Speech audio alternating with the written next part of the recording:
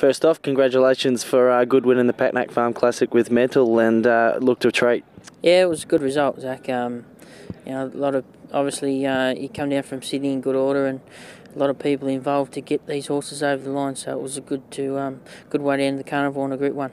Now we go to Sandown and you've got Carillo, a two-year-old colt in race one over the thousand. Yeah, he's um, he's by Teofilo, which is a new um, first season stallion over here. So uh, he's a nice horse. Um, he trialled okay at, at Cranbourne uh, a fortnight ago. Um, but um, he seems to have trained on since. We've trialled him again since he's come um, back from from uh, Cranbourne, so um, he's well schooled. Just hopefully, um, thousands not too short for him.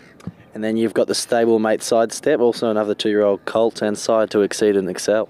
Yeah, he um, he's jumped out here at home and he went quite well. So obviously, he shows a little bit of speed. Being by exceed, so uh, hopefully he can get a nice run in the race and can be hard to beat. You've got uh, Dung in the Twilight Glow Stakes over 1400 metres, and last start she ran fourth.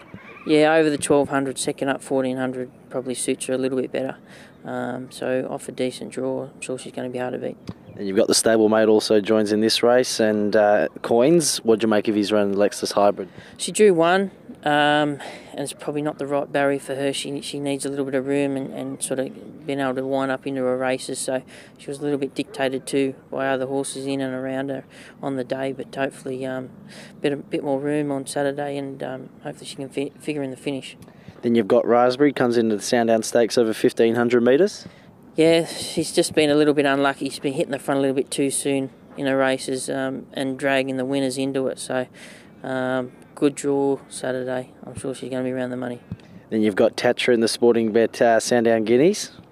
Yeah, he's look. His uh, last run was super. Um, couldn't fold his run. He only just got beat. So, as long as he takes that form into Saturday, he's going to be um, he's going to be out of it.